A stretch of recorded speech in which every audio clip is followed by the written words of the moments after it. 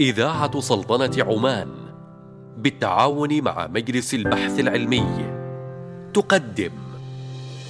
وأن الاهتمام بقطاع التعليم بمختلف أنواعه ومستوياته وتوفير البيئة الداعمة والمحفزة للبحث العلمي والابتكار سوف يكون في سلم أولوياتنا الوطنية. وسنمده بكافة أسباب التمكين باعتباره الأساس الذي من خلاله سيتمكن أبناؤنا من الإسهام في بناء متطلبات المرحلة المقبلة. طريق الابتكار.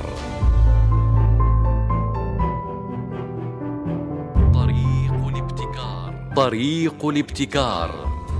برنامج يتناول الاستراتيجية الوطنية للابتكار ويبحث في جوانبها المتعددة وانعكاس نتائجها على موقع السلطنة ضمن مؤشر الابتكار العالمي.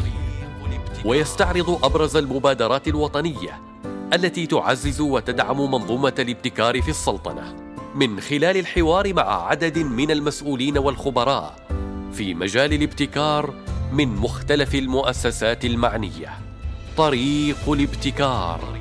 من ضمن أهداف المجلس البحث العلمي أن تكون السلطنة من ضمن أفضل 20 دولة في مجال الابتكار. واحد من المؤشرات اللي هي الكبيرة أن إحنا محققين فيها مستوى مرتفع اللي هو مثلا إنفاق على قطاع التعليم. التحديات ليست مالية وإنما هي التحديات تحدي إرادة وطموح.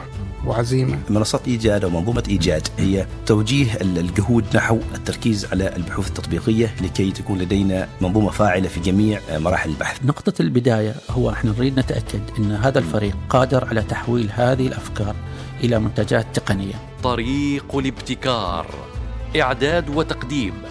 خالد بن عبد الله السلامي. إخراج حمد بن عامر الوردي. طريق الابتكار.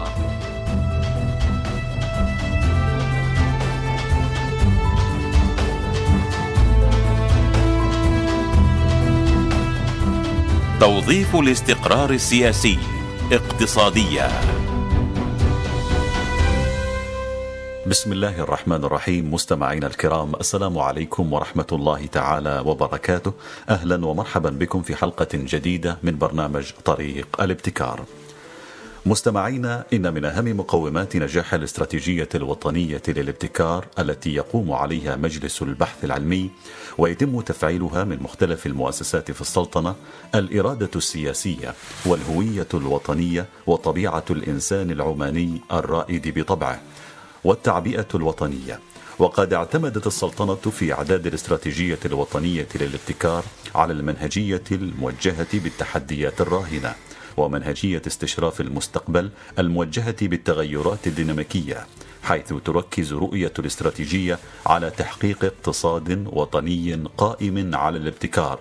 وتكون السلطنة ضمن أعلى عشرين دولة قائدة للابتكار بحلول عام 2040 الاستراتيجية الوطنية للابتكار تساهم في بناء اقتصاد وطني تنافسي قائم على الابتكار. مستمعينا الأعزاء لا يخفى على أحد مدى التأثير الإيجابي للاستقرار السياسي لأي بلد في نموه وتطور اقتصاده وما يتيحه الاستقرار السياسي من فرص تأسيس الشراكات والترابط محليا واقليميا ودوليا. إلى جانب فتح المجال لتطوير برامج ومشاريع في كافة المجالات ويفتح آفاقا رحبة لتطوير السوق المحلية وربطها بالأسواق المجاورة لها. وعقد اتفاقيات تجارية تدعم الاقتصاد الوطني. وبالنظر إلى مؤشر الابتكار العالمي لعام 2019 نجد أن السلطنة صنفت في المرتبة الخامسة والثلاثين عالميا في مؤشر الاستقرار السياسي. وبغض النظر عن مدى دقة هذا التقييم ومقارنته بواقع الحال وما تشهده السلطنة ولله الحمد من استقرار سياسي على أعلى المستويات فإنها مرتبة جيدة مقارنة بمجمل المؤشرات الأخرى التي تضع السلطنة في المرتبة الثمانين عالميا في مؤشر الابتكار العالمي لعام 2019 وفي هذه الحلقة من برنامج طريق الابتكار سنتحدث عن دور الاستقرار السياسي في تعزيز الاستثمار الاقتصادي وكيف يمكن توظيف هذا الاستقرار في السلطنة اقتصاديا ودور سفارات وقنصليات السلطنة في مختلف دول العالم في التعريف بالسلطنة كبيئة داعمة للاقتصاد والابتكار وتميزها بالاستقرار السياسي وغيرها من الجوانب التي تعزز تقدم السلطنة في منظومة الابتكار. فأهلا ومرحبا بكم مستمعين في برنامج طريق الابتكار الاستراتيجية الوطنية للابتكار سياسات متناغمة وتكامل نسيجي بين مكونات المنظومة الوطنية للابتكار. مستمعينا الأعزاء ضيفنا في هذه الحلقة هو سعادة الشيخ خليفة بن علي الحارثي وكيل وزارة الخارجية للشؤون الدبلوماسية سعادتك أهلا ومرحبا بك معنا. أهلا ومرحبا يسعدني في أن أكون معكم في برنامج الطريق إلى الابتكار. أهلا وسهلا بك سعادتك طبعا نحن في هذا البرنامج نعرج على الاستراتيجية الوطنية للابتكار ودور مختلف المؤسسات أيضا في تحقيق أهداف هذه الاستراتيجية وبلا شك بأن الاستقرار السياسي أمر مهم جدا في تحقيق كثير من جوانب هذه الاستراتيجية والكثير من الجوانب الاقتصادية ومجالات الحياة بشكل عام في أي دولة من الدول. بداية سعادتك دعنا نضع اطارا لحديثنا من خلال الحديث عن الاستقرار السياسي كمفهوم. الاستقرار السياسي بالنسبة لكل دولة هو خلو تلك الدولة من من المشاكل ومن الحروب وأيضا خلوها من الاضطرابات في في الداخل. وهذه حقيقة والحمد لله السلطنة تخلو من كل هذه الأشياء مما جعلها في من الدول التي يشار إليها بالبنان بالنسبة للاستقرار السياسي. وحقيقة الخلو من من المشاكل والاضطرابات في هذه المنطقة آه، التي نحن فيها حقيقة يعتبر ميزة آه، لأن كما تعلم المنطقة التي تحيط بنا آه، لا تخلو من الكثير من المشاكل. نعم. وكون السلطنة هي واحة للأمن والأمان في هذا الجزء من العالم هذا مؤشر قوي.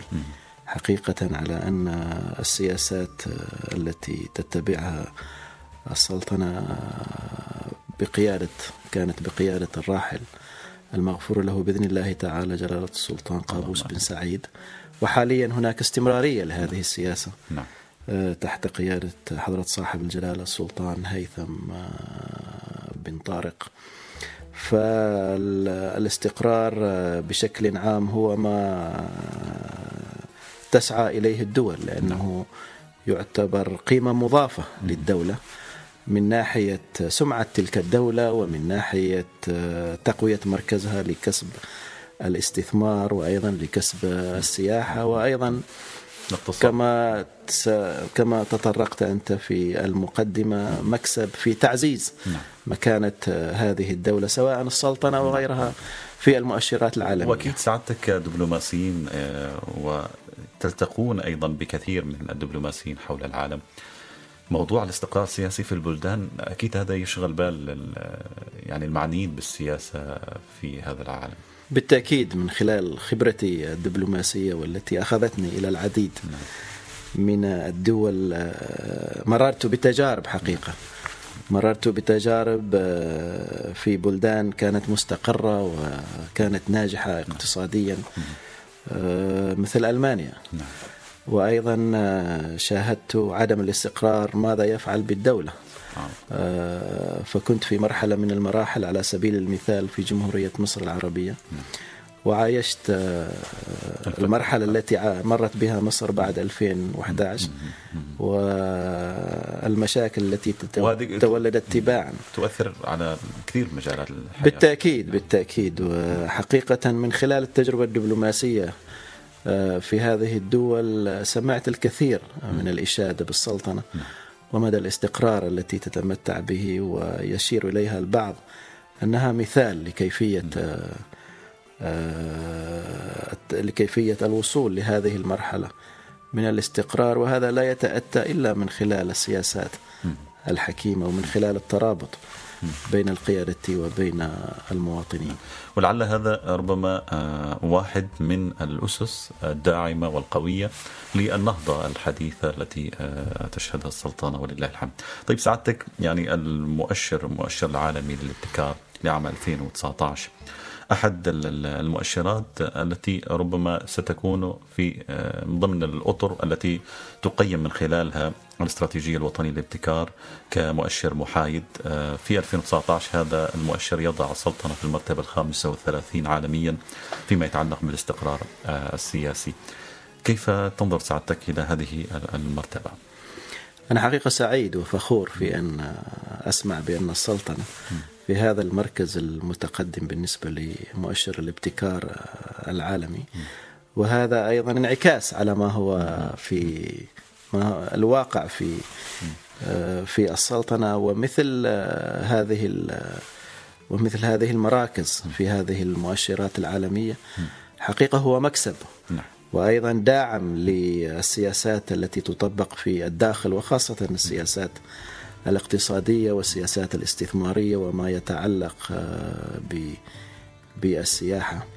آه، أيضا ذلك مؤشر على أن الاستراتيجية الوطنية للابتكار آه، والتي حسب فهمي تأتي ضمن رؤية 2040 نعم. تأتي يعني هذه الاستراتيجية بدأت بالإتيان بنتائجها. وهذه قد تكون البداية وعلى حسب ما علمت أن الهدف على المدى الطويل أن السلطة تكون ضمن 40 الأربعين الأوائل بالنسبة لمؤشر الابتكار نعم. العالمي ضمن أفضل 20 دولة أو أفضل 20 دولة نعم. نعم. ف... نعم. هذا تحدي كبير وهذا تحدي ولكن يبدو نحن في في الطريق الصحيح إن شاء الله. وإن شاء الله سوف نصل بإذن الله إن شاء الله طيب يعني سعادتك وما زلنا نتحدث عن موضوع الميزة التي تحظى بها السلطنة موضوع الاستقرار السياسي كيف يمكن آه، توظيفه في تعزيز آه، الاستثمار الاقتصادي الذي هو أيضا جانب مهم من جوانب المنظومة الابتكارية. هو بالتأكيد انه الاستقرار آه، السياسي والاستقرار بشكل عام نعم. في في كل بلد يعطي دافع قوي للمستثمر وللسائح عندما ينظر إلى خارطة العالم ويرغب في اتخاذ قرار أين يستثمر أو أين يزور. فهذه أحد أحد الاعتبارات التي يضعها في حساباته. إلى أي مدى هذا البلد آمن آمن ومستقر؟ وكما تعلم أن بعض الدول تنصح مواطنيها في أين يذهبوا وأين يستثمروا وأين يزوروا فعندما يكون مؤشرك للاستقرار قوي هذا يشجع هذه الدول في أن تضعك في خانة بحيث أن مواطنين الدول الأخرى يتشجعوا لأن يأتوا إليك. آه، كمستثمرين أو كسائحين. فهو بالتأكيد مؤشر الاستقرار يكون في أحد أهم الحسابات نعم. التي آه، يتخذها صانع القرار أو متخذ أو رجل الأعمال آه، أو من يرغب في القيام بالسياحة هنا وهناك. وهذا لاحظته حقيقة في الدول الغربية.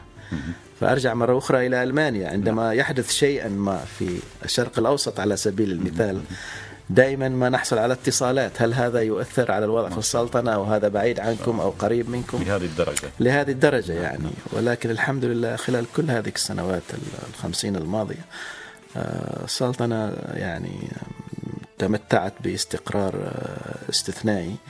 آه، مما حقيقة يجعل يجعل ما يقوم به أو ما تقوم به الأجهزة المعنية. نعم.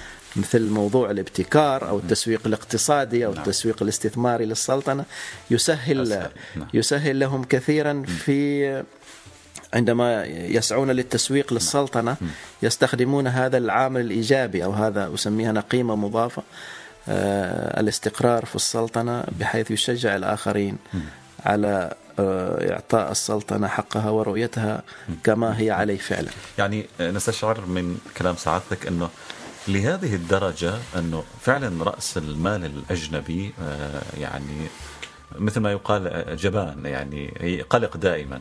فحتى وإن كانت هناك أحداث آه، ربما محيطة بالبلد الذي يستثمر فيه فتجده قلق ويتواصل مع المعنيين بهذا الأمر ليستفسر.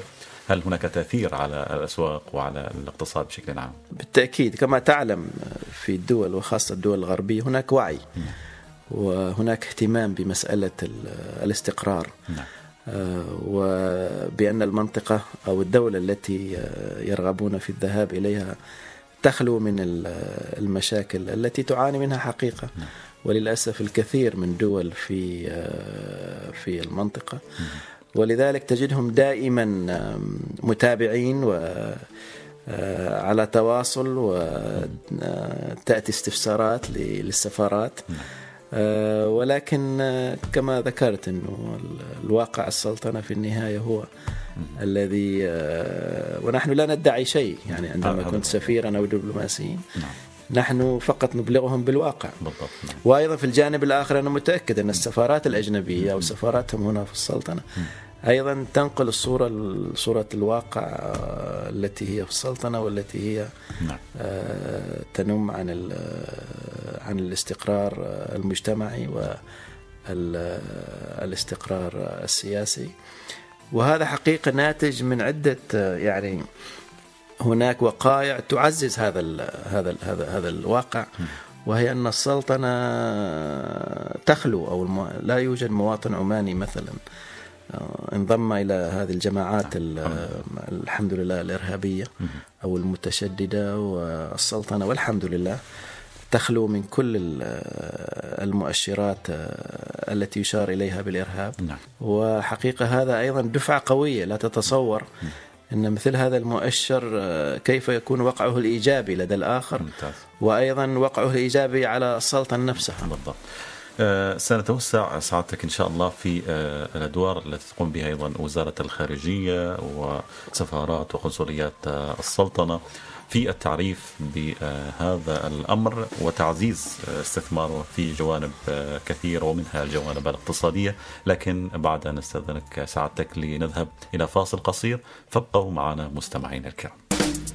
الاستراتيجية الوطنية للابتكار ورؤية عمان 2040 تناغم وتكامل في الأهداف. أهلا ومرحبا بكم مستمعينا الكرام من جديد في حلقة هذا اليوم من برنامج طريق الابتكار الذي نطرح فيه موضوع توظيف الاستقرار السياسي اقتصاديا وضيفنا في هذه الحلقة هو سعادة الشيخ خليفة بن علي الحارثي وكيل وزارة الخارجية للشؤون الدبلوماسية. سعادتك نرحب بك من جديد في برنامج طريق الابتكار. أهلا وسهلا. سعادتك تحدثنا عن جوانب كثيرة فيما يتعلق بأهمية الاستقرار السياسي بالنسبة للبلد وكيف يمكن استثماره في الجوانب الاقتصادية الآن ما هي الأدوار التي تقوم بها وزارة الخارجية في هذا الجانب بالتحديد للتعريف بالاستقرار السياسي والفرص الاستثمارية المتاحة أيضا طبعا بالتعاون مع الجهات المعنية في هذا الجانب. كما يعلم البعض أن في الخارجية هناك قطاع خاص يسمى القطاع الاقتصادي وهو يعنى بكل ما يتعلق بالشؤون الاقتصادية والاستثمارية التي تهم السلطنة في في تعاملاتها الخارجية. أيضا يوجد لدينا ما يقارب 60 بعثة دبلوماسية منتشرة في جميع أنحاء العالم بين سفارة وقنصلية ومندوبية. وكل هذه السفارات تسعى أيضا من أجل إظهار السلطنة. في مجملها وما تتمتع به السلطنة من استقرار ومن مقومات اقتصادية وسياحية. وذلك من يتأتى من خلال اللقاءات المباشرة مع مع مع صناع القرار ومع الجهات الاقتصادية والاستثمارية في في تلك الدول. أيضا تقوم السفارات بتنظيم زيارات سواء زيارات للمسؤولين العمانيين للذهاب إلى تلك الدول أو زيارات للمسؤولين من تلك الدول أو رجال الأعمال يأتون للسلطنة. ولكني شخصيا أعتقد هناك مجال لتفعيل هذا الشكل هذا الجانب بشكل أفضل. وذلك يتأتى من خلال وضع استراتيجية أيضا مكملة للاستراتيجيات الوطنية التي نراها حاليا مثل استراتيجية الابتكار وخلافه. وهذه الاستراتيجية تعنى بكيفية تسويق السلطنة ومقوماتها وما تتمتع به من إمكانيات في في الخارج. وذلك بالتعاون بين وزارة الخارجية والجهات المعنية في في السلطنة. وأعتقد إنه من خلال رؤية 2040 الكثير من كثير من الأمور والمقومات وتفاصيلها ستكون واضحة بشكل أكبر. وأعتقد آه، سيكون هناك تركيز على بعض الجوانب في الاقتصاد. وإذا ما تم ذلك سوف يسهل للسفير أو للسفارة في آه، في تحديد ما هي الأولويات. بالضبط. نعم. وأنا رؤيتي هنا أن نحدد الأولويات بناء على كل دولة. نعم. يعني ما هي أولوياتنا مع اليابان مثلا وما هي أولوياتنا مع مع كوريا وأيضا. ما هي أولوياتنا مع الولايات المتحدة على سبيل المثال. وعلى ضوء هذه الأولويات وهذه الأطر يتم طبعا من خلال التواصل من خلال نعم. يعني خطة التعريف بالسلطنة. في هذا الجانب. طيب يعني سعادتك نسمع أن هناك أبعاد سياسية لفتح الاستثمارات الأجنبية وأنه لابد أن تكون هناك ضوابط معينة للتوجه ربما لفتح الاستثمار الأجنبي. هذا على صعيد يعني الرسمي. هل فعلا هناك مثلا ضوابط معينة للاستثمار بحيث أنه لدينا ربما آه، خطوط وابعاد معينة لابد من مراعاتها قبل التوجه في هذا الجانب؟ أعتقد هي الضوابط في في مسألة المحافظة على الأمن الوطني للبلد وعلى الاستقرار الاجتماعي نعم. عدا ذلك أعتقد انه السعي من أجل جلب الاستثمارات آه، الأجنبية من من الخارج هو هدف تسعى إليه كل الدول نعم. وهناك حقيقة الآن منافسة منافسة شديدة بين دول العالم في إظهار الأمكانيات التي تتمتع آه، بها هذه الدولة وتلك ولذلك يجب علينا نحن في السلطنة أيضا أن نسعى بكل ما أوتينا نعم. سواء الجهات المعنية هنا في في داخل السلطنة المعنية بالجوانب الاقتصادية وأيضا نحن كسفارات آه، أو كالذراع الدبلوماسي للسلطنة في الخارج نعم. آه، فعمل آه، عملنا وعمل الجهات الأخرى في السلطنة مكمل بالضبط. حقيقة وهناك أعتقد بالإمكان أن تكون هناك استفادة متبادلة آه، بين بين كافة الأطراف وحتى استفادة متبادلة بين بين الدول وحقيقة أعتقد الوضع مثلا القانوني أو الإداري في السلطنة هو وضع جيد وهناك الكثير من الاتفاقيات آه، ومذكرات التفاهم التي تربطنا نعم. آه، وخاصة اتفاقيات آه، التعاون الاقتصادي والفني وحماية الاستثمار فالأطر القانونية والإدارية موجودة من أجل تعزيز نعم. التعاون مع مع الدول ويجب علينا حاليا هو في وجود الخطة أو الفيجن أو رؤية 2040 تفعيل آه، هذه الفرص وأعتقد المؤشرات سواء مؤشر الابتكار نعم. التي الذي أشرت إليه والمؤشرات الأخرى تساعد في نعم. في هذا الإطار وتقوي من الانطباع عن السلطنة لدى المتلقي الخارجي. نعم. طيب آه، سعادتك يعني الظروف المحيطة بأي دولة إلى أي مدى أيضا يعني آه، حتى وإن كانت هذه الدولة من أفضل الدول استقرارا سياسيا، لكن كانت هناك ظروف تحيط بهذه الدولة فإلى أي مدى هذا أيضا يشكل تحدي في موضوع آه، الاقتصادي هنا نتكلم وقلب الاستثمار الأجنبي. هو بالتأكيد تحدي يعني وأنت تقع في منطقة مثل منطقة الشرق الأوسط أو منطقة الخليج. آه، لأنه في الأخير الاقتصاد هو تكاملي. والاقتصاديات بين الدول متداخلة. وما يقع في مكان ما يؤثر على المكان الآخر. فعلى سبيل المثال حاليا ترى مدى التأثير الذي أحدثه مرض أو انتشار فيروس كورونا. فيروس كورونا أول شيء تأثيره على الصين نفسها وتأثيره على النفط على سبيل المثال نعم. وتأثيره على التعاملات التجارية بين الصين وبين كافة دول العالم. هناك أشياء خارج إرادتك وخارج إرادة الدولة أو سيطرة الدولة. آه فهذه لا تستطيع أن تتحكم فيها.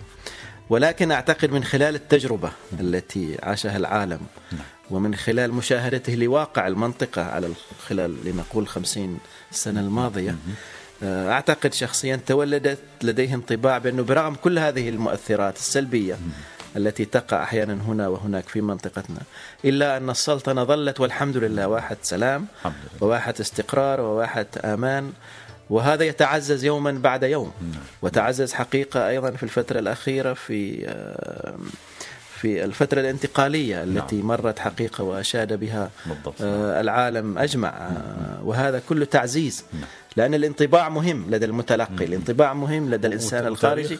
تاريخ الاستقرار السياسي في الدول أيضا أكيد يتتبع يعني. يتتبع وهذا شيء تراكمي. أيوة نعم. والحمد لله طوال هذه السنوات لم يؤثر شيئا بشكل سلبي على هذا الاستقرار وهذا الانطباع الإيجابي آه، للسلطنة لدى الآخر. نعم.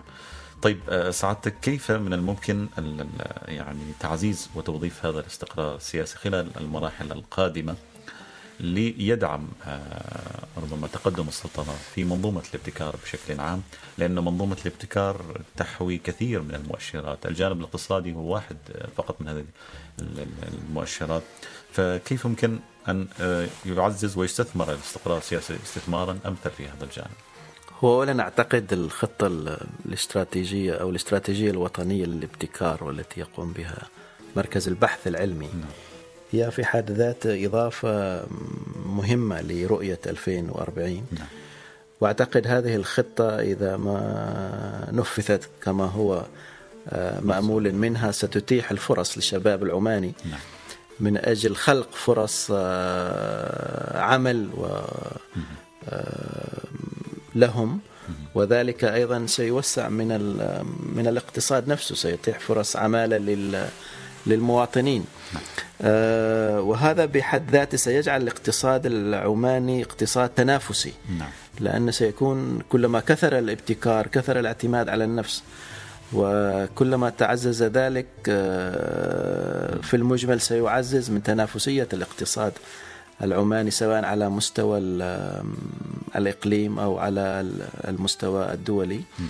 وأيضا وجود بعض الابتكارات التي إن شاء الله نأمل أن تميز السلطنة أو سيتميز بها المبتكر العماني سيحسن أو سيضيف إلى الانطباع الإيجابي للسلطنة لدى المتلقي الخارجي وحقيقة هذا يتعزز من خلال تكاتف الجهود آه، لكافة المعنيين وكافة الجهات في السلطنة نعم. من أجل الدفع ب بهذه الفرص التي توفرها السلطنة والاستفادة منها كما نعم. كما يجب واعتقد أنه آه، حضرة صاحب الجلالة السلطان هيثم بن طارق آه، حفظه الله هو أيضا من كان كما يعلم الجميع نعم.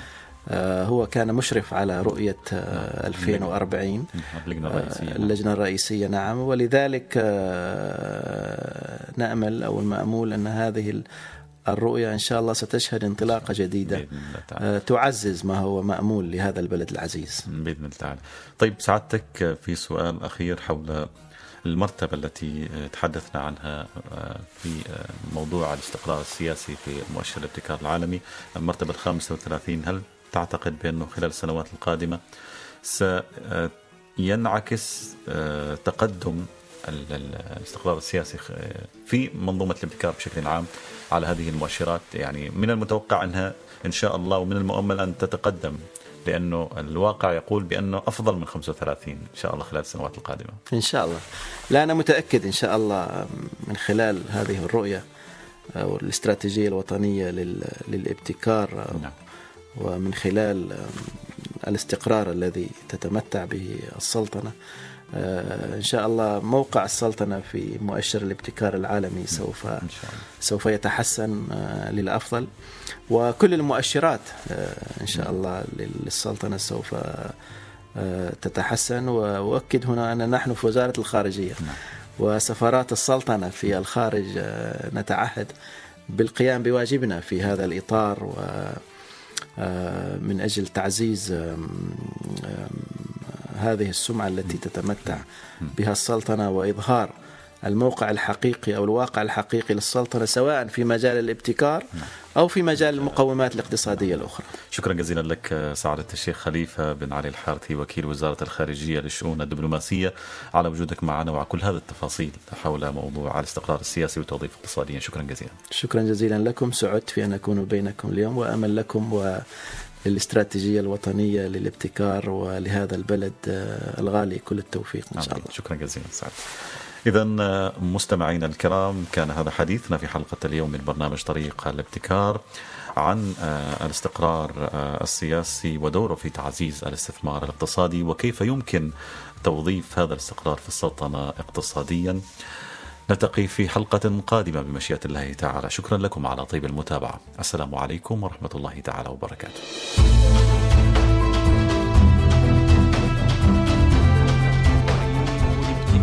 طريق الابتكار. إعداد وتقديم. خالد بن عبد الله السلامي. إخراج حمد بن عامر الوردي.